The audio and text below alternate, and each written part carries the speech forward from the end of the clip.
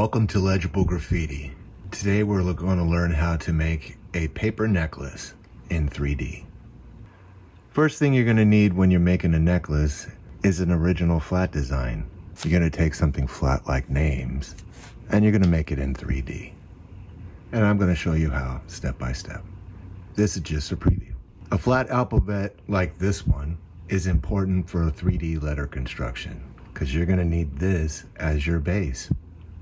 It's going to be your ground floor if you are going to make a building. Supplies you'll need, a light board or a window to be able to see your image, markers, pencils, or crayons to be able to write with, and lots of paper.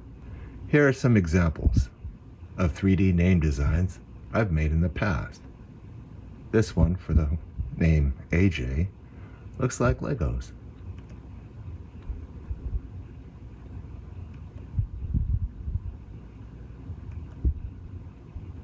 This design kind of looks like Jello. Legible graffiti steps one through six at a glance. Step one, you're going to copy your original design. If the dots are the original design, the solid lines are going to represent what you've traced in order to make these blocks.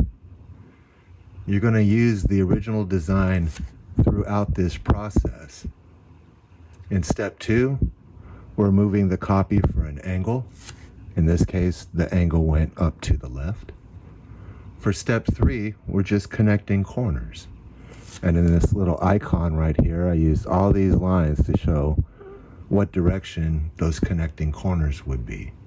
Step four is just following the outer edge. With step five, we're adding details, and step six, we're going to color it.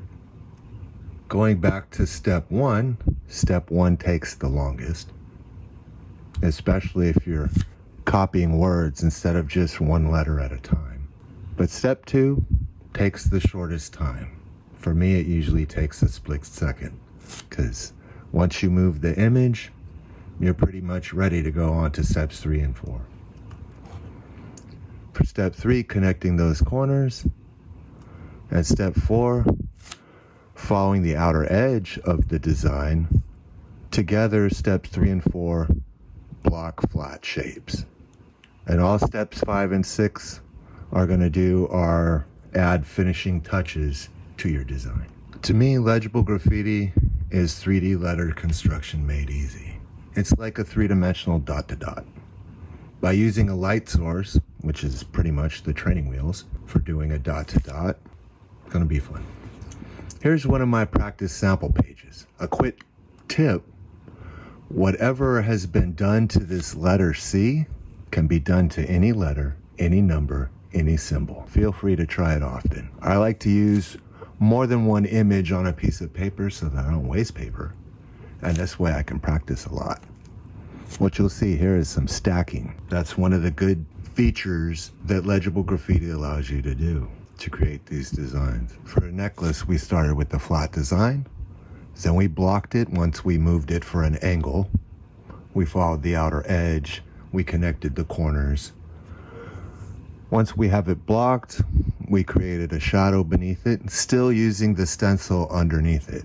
So for all of this, you're gonna see a lot of the same letters used over and over and over. With details and color added to this necklace design, it's now complete. When you're just learning, practice, practice, practice. Create some more 3D letter designs. Have fun with it. Make some name necklaces for your friends and family. Enjoy. This is the demonstration portion of my necklace video. First things first, we've got everything but the E drawn in. So the longest part of legible graffiti is transferring that original design onto your new piece of paper. Once you have that original design copied, the other step should go quickly. Because step two, move copy for angle. We're just gonna move it around. And yeah, you see all the letters move around. That, that's the nice thing about this, this process. If you space them out right and they're linked together with the original beneath it, and I'm using a clear transparency sheet to protect my original image as well as the surface of my drafting table for the lines. So if we're gonna start off hollow, first things first, we're gonna need to move it and then we're gonna need to redraw it one more time. Because to make a hollow design, we need to make sure that we've copied the original twice in two different directions because then we're to link them. One of these letters right here, one of these E's, we'll have to decide is going to be our base to anchor the other lines to. So one will be the top, one will be the bottom. And now once we have it and we've decided which one we want to use, whether it's on the bottom or it's on the top, then we just need to connect our lines. And then we'll have something hollow like this one right here. It can get complicated because this corner right here is underneath this beam or the lower portion of the E. And when we make it hollow, we have to go all the way through it. But when we want to make a solid block, that would be something that we would not want to go through. So we'd want to be careful with it. And then this line is going to come down here. This line will connect here.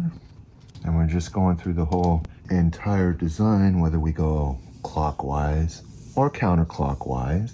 Whichever way we use, it should connect everything up. So now that we have a hollow, we could then trace these onto something else and decide that we want to make them solid. So we line it back up. Let's try the letter C. For this one, let's not make it hollow. Let's make it nice and solid. We're going to connect this corner right here and that corner right there. When we put it back onto our original design, we can see that we're going to project upward and from the right. Bring it back in. We're going to connect this corner right here. We're going to connect this inside corner right there. Now we can follow the edge for both of these of our original, using our original like it's training wheels, like a guide. Bring all our lines down.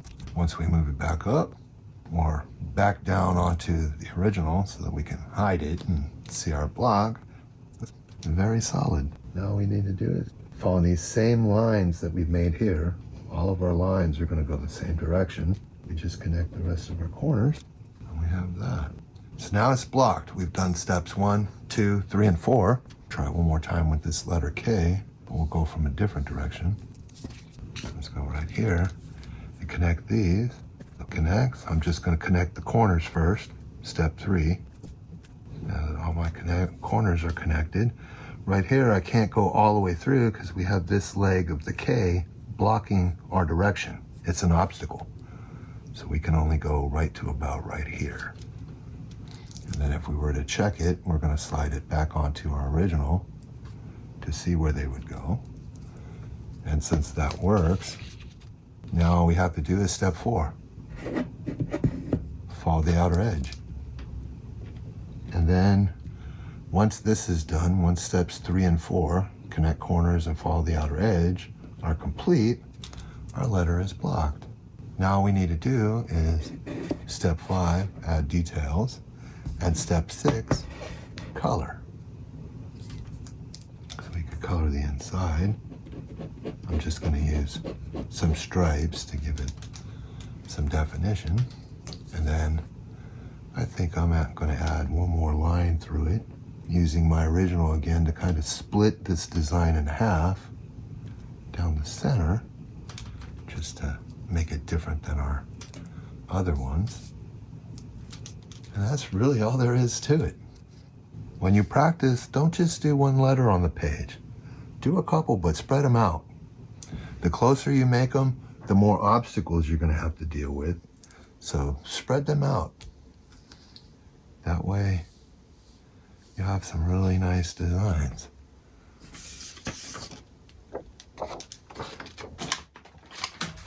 That. And here's another one. Going in a direct, different direction. These come down this way. These go upward. We were going to look back at the hollow designs. This would be how it would be done all the way through. The top portion I only did the outside edge just to show you where you would block it. But with the ones on the bottom, I went all the way through it. And then if you're going to color your necklace, and add some details. Here I colored it blue and I had some stripes and a shadow behind it. So now it's pretty much done. Or if we want to go from a different direction, we could do that. Here's some more designs if we move them all over the page. And we can even do it onto our cubes, like what I've done here with flat letters, I've done here with my 3D. Thank you for watching Legible Graffiti. I hope you enjoyed the How To Festival of 2023.